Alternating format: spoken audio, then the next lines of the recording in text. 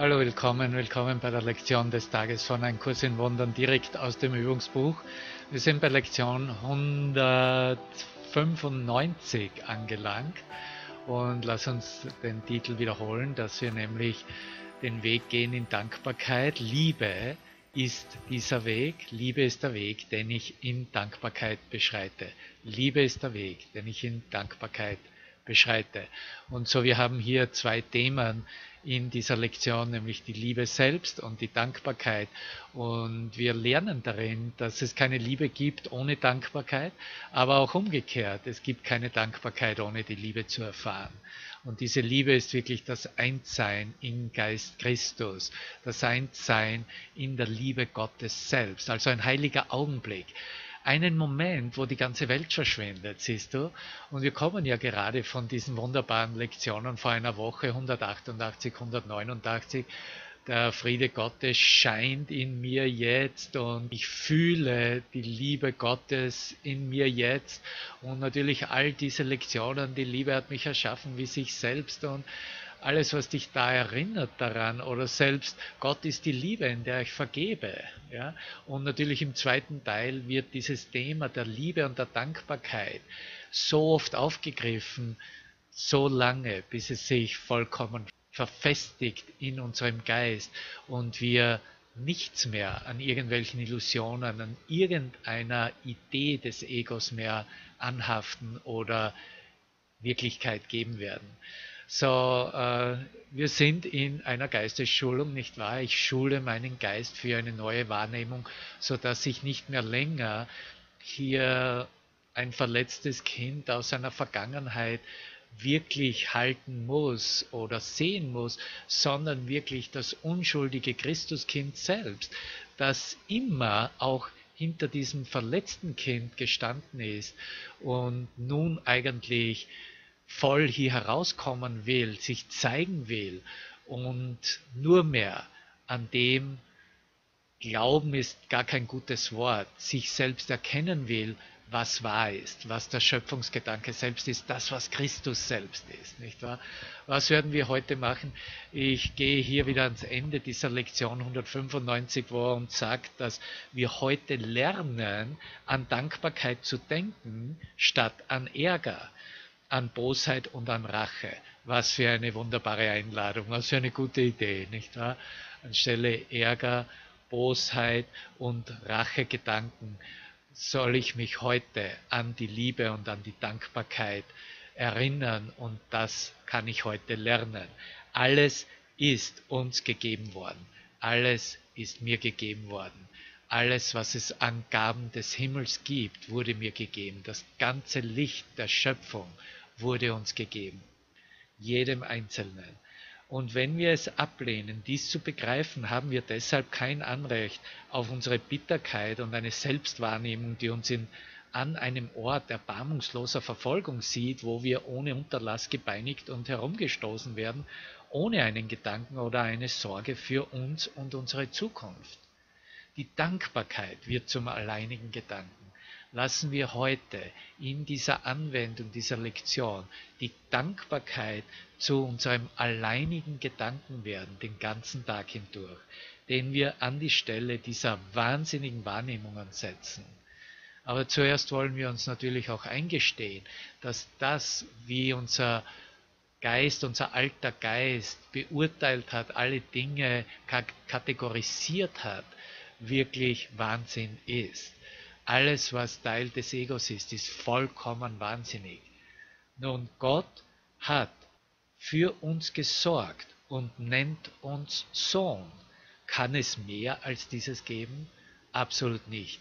Hier in deiner Transformation, das ist wirklich alles, was du haben kannst, weil damit kommt automatisch die Erfahrung der Liebe Gottes, automatisch die Erfahrung des Seinsseins, automatisch die Erfahrung des im Himmelseins. So unsere Dankbarkeit wird den Weg zu ihm ebnen und unsere Zeit des Lernens mehr verkürzen, als du dir je träumen lassen könntest. Dankbarkeit geht Hand in Hand mit Liebe. Das ist alles, was wir uns nur erinnern müssen, was wir mitnehmen können, konzeptuell aus dieser Lektion. Dankbarkeit geht Hand in Hand mit Liebe. Und wo die eine ist, muss auch die andere zu finden sein, denn Dankbarkeit ist nichts als ein Aspekt der Liebe.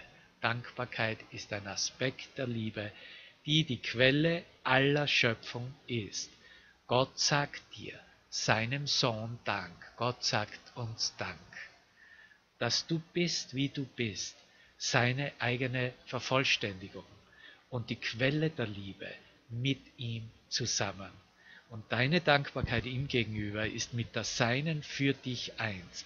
Denn die Liebe kann keinen Weg außer dem Weg der Dankbarkeit beschreiten. Und diesen gehen wir, die wir den Weg zu Gott beschreiten. So, wir haben geübt, wir sind, glaube ich, ziemlich klar, dass wir den Weg zur, unser, zu unserem Nachhause beschreiten wollen und dass wir wirklich zu Hause sein wollen mit Gott, in Gott. Und da geht es um nichts anderes, als dass wir die Liebe diesen Weg sein lassen, den wir in Dankbarkeit beschreiten. Okay, wir beginnen die Lektion wieder hier mit ein paar ganz essentiellen Eingeständnissen, wie eigentlich sowohl die Dankbarkeit als auch die Liebe verleugnet wurden. So hör hier gut hin mit mir in diesen ersten beiden Paragraphen. Dankbarkeit ist eine Lektion, die für jene schwer zu lernen ist, die die Welt verkehrt betrachten. Na, menschliches Wesen, menschliche Sichtweise. Höchstens ist es ihnen möglich, sich so zu sehen, als würde es ihnen besser gehen als anderen, und sie versuchen zufrieden zu sein, weil ein anderer mehr als sie zu leiden scheint. Wie jämmerlich und wie missbilligend solche Gedanken sind. Denn wer hat Grund zu danken, während andere weniger Grund dazu haben? Frage, nicht wahr? Und wer könnte weniger leiden, weil er einen anderen mehr leiden sieht? Deine Dankbarkeit gebührt nur ihm, der jede Ursache des Kummers auf der ganzen Welt verschwinden lässt. So du siehst, es gibt da keinen Austausch. Es ist auch ganz, auch selbst in der Verleugnung. Ja, es, wenn hier andere in deinem Geist aufscheinen, die weniger Grund hätten, dankbar zu sein, das bist ja du. Und dann siehst du, dass du hier einen Job zu verrichten hast in deiner Transformation, nicht wahr? Es ist wahnsinnig, um des Leidens Willens Dank zu sagen. Doch ist es ebenso wahnsinnig, dem einen Dankbarkeit zu versagen, der dir die sicheren Mittel schenkt, wodurch aller Schmerz geheilt und das Leiden durch Lachen und durch Glück ersetzt wird die Geistigen mindestens zum Teil Gesunden können es auch kaum ablehnen, die Schritte, die er lenkt, zu gehen und dem Weg zu folgen, den er ihnen vorgibt, um einem Gefängnis zu entrinnen, von dem sie dachten, es gebe in ihm keine Tür zu der Befreiung, die sie jetzt wahrnehmen. Wow.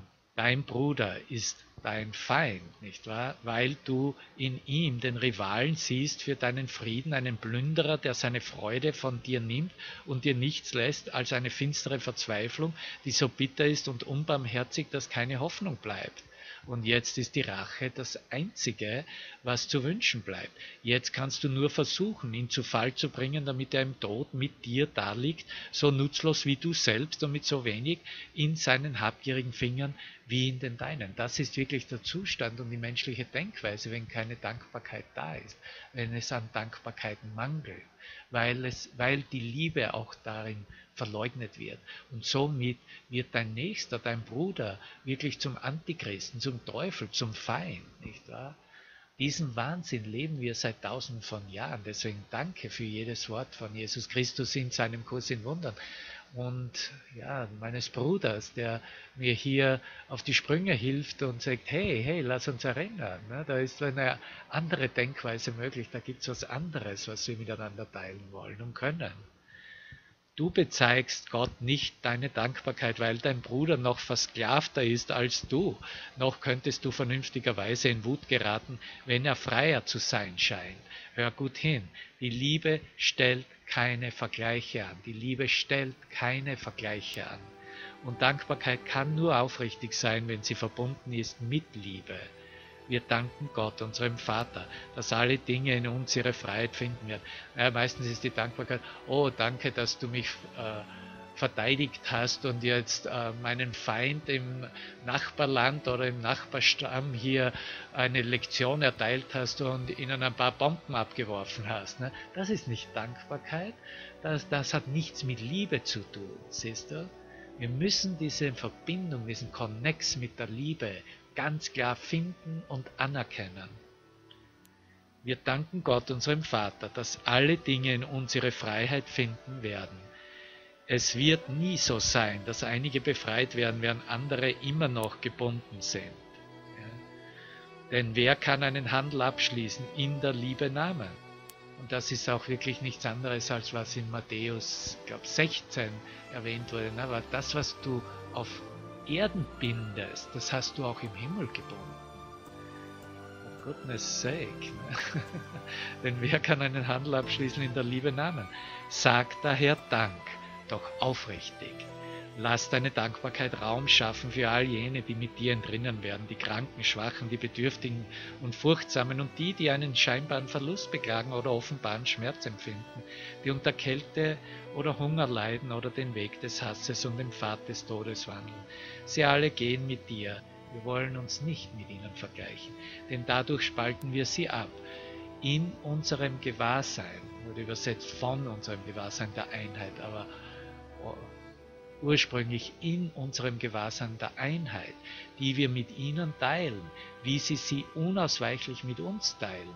Wir danken unserem Vater nur für eines, dass wir von keinem Lebewesen getrennt und daher eins mit ihm sind. Wir sind von keinem Lebewesen getrennt und wir sind eins mit ihm, mit Gott. Und wir verlocken dass keine Ausnahmen je gemacht werden können, die unsere Ganzheit mindern und unsere Funktion schmälern oder verändern könnten, den einen zu vervollständigen, der selbst die Vollständigkeit ist. Wir sagen Dank für jedes Lebewesen, denn andernfalls danken wir für nichts und versäumen es, Gottes Gaben an uns wahrzunehmen. Danke, was für wunderbare Aussage. Diese Worte sind wirklich, die gehen rein wie wie Öl, nicht wahr? Und so wollen wir denn unsere Brüder ihr müdes Haupt an unsere Schultern lehnen lassen, während sie eine Weile ruhen. Wir sagen Dank für sie. Denn wenn wir sie zu jenem Frieden weisen können, den wir finden möchten, dann öffnet sich der Weg uns endlich. Eine alte Tür springt wieder auf, ein lang vergessenes Wort, Wort großgeschrieben, erschallt erneut in unserer Erinnerung und nimmt an Klarheit zu, sobald wir wieder willens sind zu hören, wahrlich hinzuhorchen. Beschreite denn in Dankbarkeit den Weg der Liebe, denn der Hass ist vergessen, wenn wir Vergleiche weglegen. Was bleibt dann noch als Hindernis zum Frieden? Die Angst vor Gott ist jetzt endlich aufgehoben und wir vergeben, ohne zu vergleichen. Wir vergeben, ohne zu vergleichen. Sag hinter mir, ich vergebe, ohne zu vergleichen. Danke. Und so können wir uns nicht dafür entscheiden, einige Dinge zu übersehen und andere Dinge dennoch zu behalten, die immer noch als Sünden weggeschlossen werden. Wenn deine Vergebung vollständig ist, wird deine Dankbarkeit total sein, denn du wirst sehen, dass alles das Recht auf Liebe verdient hat, indem es liebevoll ist, genauso wie dein Selbst. Und das ist wirklich unser Ziel, das ist, worauf wir hinarbeiten. Vergebung zu vervollständigen und in dem Sinne zu sehen, dass unsere Dankbarkeit ebenso vollständig ist. Und Vergebung ist nur vervollständigt, wenn wir ganz klar sehen und anerkennen, dass hier nichts geschieht in Raumzeit, in unserem Traum, dass uns niemand jemals irgendetwas angetan hat. Und dass wir, wenn wir wirklich im Traum verhaftet waren und es wirklich geglaubt haben, haben wir es uns selber angetan und es wurde so schmerzhaft, dass wir es losgelassen haben, ganz einfach so, und dann zurückgegangen sind in diesen Gedanken der Dankbarkeit. Und wir haben vielleicht sagen müssen auch, hey, verzeih mir, vergib mir, was ich gesagt habe oder vermeintlich gesagt habe, ich habe es nicht gemeint. Ich liebe dich aus ganzem Herzen. Und ich sehe dich jetzt. Ich sehe dich als der, der ich wirklich bin, als Christus selbst. Und das ist wirklich meine Funktion hier, mich selbst so zu sehen, wie Gott uns schuf, als das Licht selbst, als das Licht des Himmels, das Licht der Welt. Und darin feiern wir uns nach Hause und gehen unseren Weg gemeinsam. Das ist der Weg der Liebe, den wir in Dankbarkeit beschreiten.